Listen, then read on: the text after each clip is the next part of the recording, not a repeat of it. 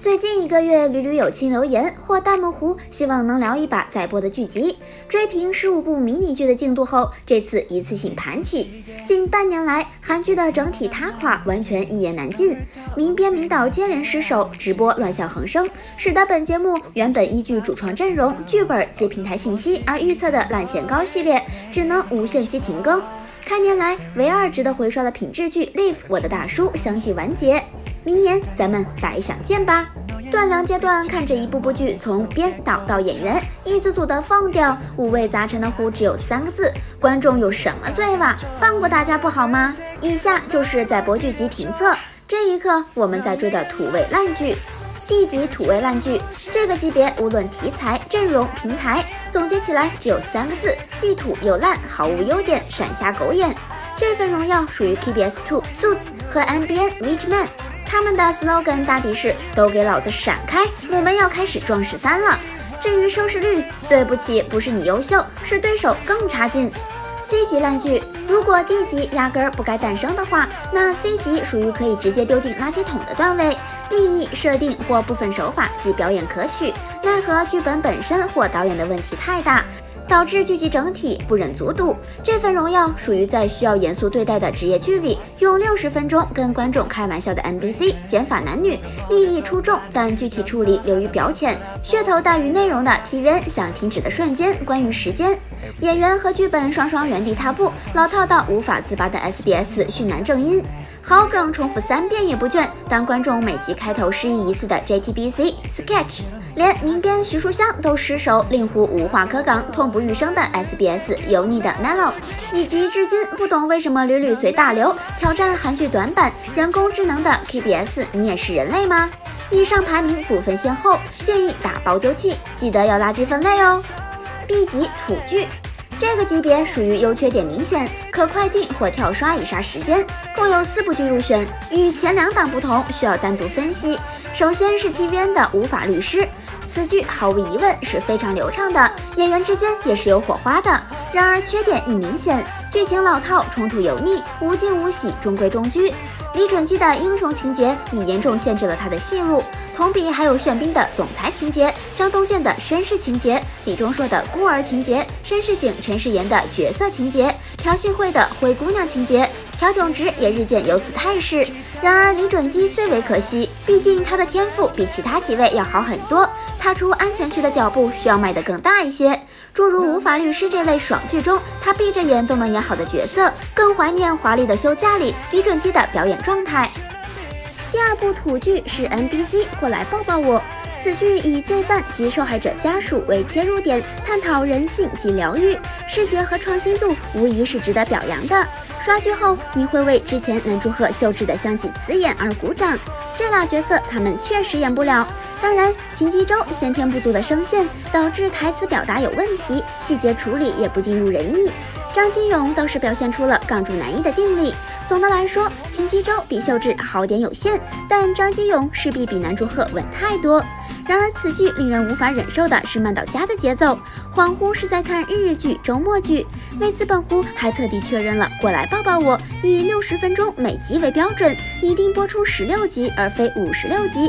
好处是大量的特写、柔光、慢动作，使得画面屡屡呈现 MV 及广告片的质感。瞎的是慢吞吞的节奏，导致流畅度大幅减弱。导演令我们不是要在剧档刷电视散文的噻，诚挚建议此剧以一点二五倍倍速观看，既不影响剧情理解，也不会错过演员表现，亦能节省你宝贵的时间。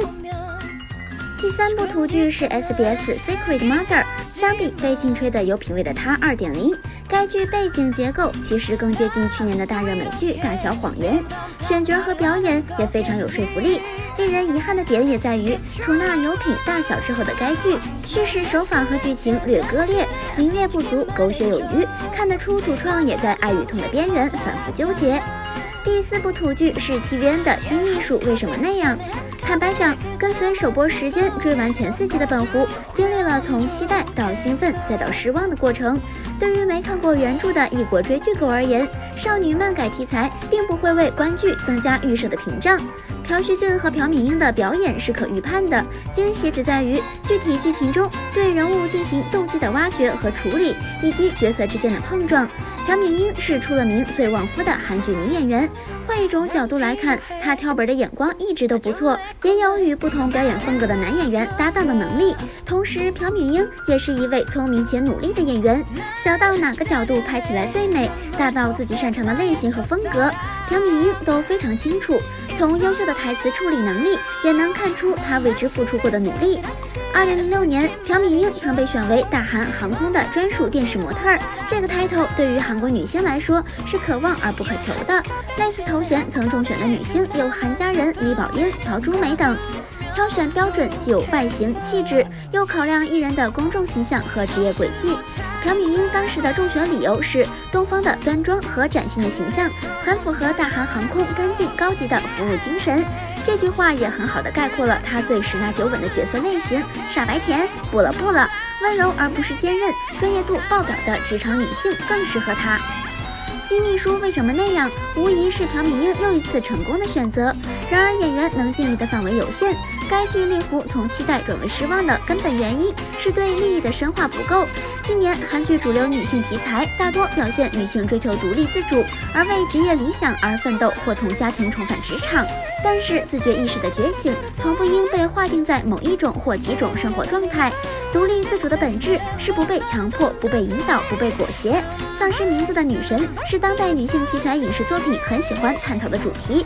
然而，有人在家庭生活里丧失姓名，也有人曾在职场中丧失。第一集中，金秘书表现出的状态正是如此。김비서씨맞으세요아니요아니요김미소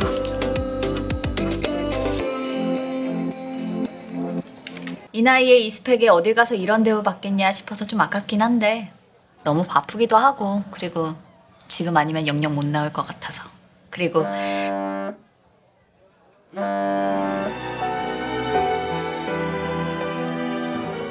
그 무엇보다 중요한 건 바로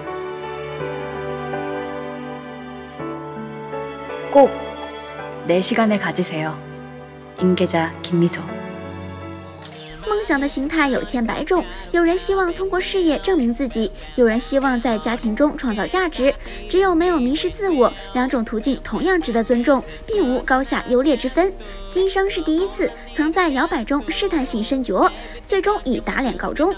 金秘书的开头给了本湖一种有望做成第二次二十岁纪念版的感觉，对不同阶段职场人风貌的展示也颇有几分味道。然而三集之后证明是湖的错觉，此剧是且只打算是桶装的快乐水影视作品，既好看又有营养，同时还在故事中呈现深层次的价值观念冲突。与当下韩剧的创作环境而言，已属可遇不可求。当然，金秘书的观感还是很流畅的，架构表演暂时也没什么硬伤，清凉。一下甜过也就罢了，土味烂剧、土剧烂剧三个等级一过，那么 A 级又有哪些剧呢？咱们下期再接着盘。